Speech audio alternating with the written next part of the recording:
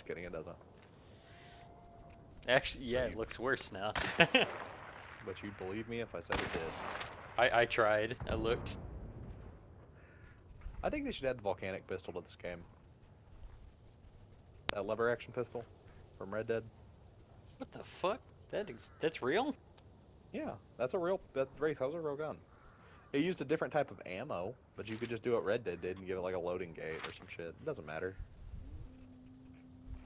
I mean, they don't. This this isn't a game about accuracy. It's just a fun cowboy game. Actually, it is. if you miss your shots, you Um, suck. my great grandfather had a bomb lance growing up on the prairie.